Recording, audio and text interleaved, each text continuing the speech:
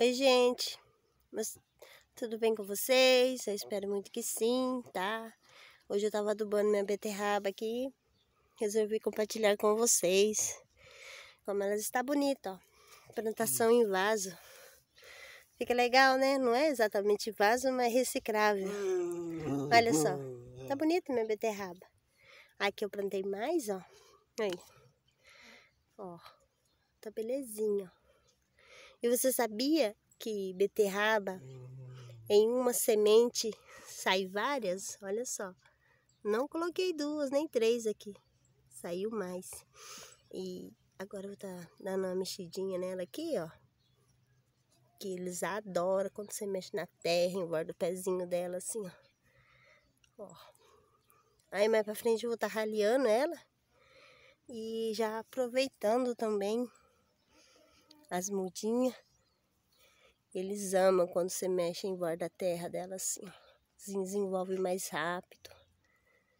Olha. Tá tudo pequeno. Aí eu tenho também que tá bonito, meu rabanete, olha. Aí eu tava fazendo adubação com casca de banana aqui, ó. Fiz adubação já, ó, casca de banana e pó de ovo, casca de ovo. Aqui, ó, tá até branquinho, ó.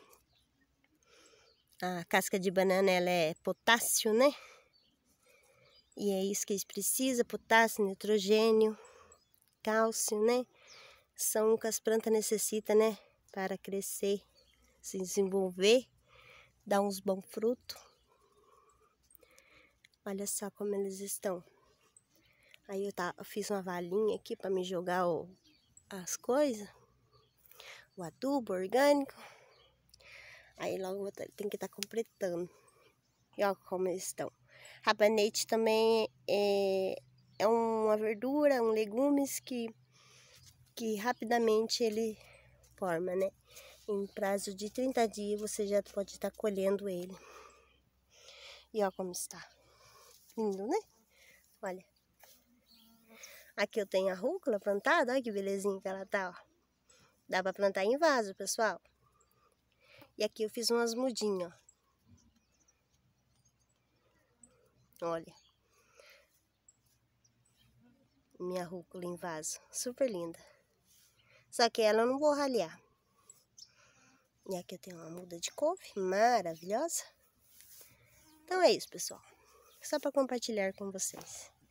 Obrigado pela sua atenção. Fiquem todos com Deus.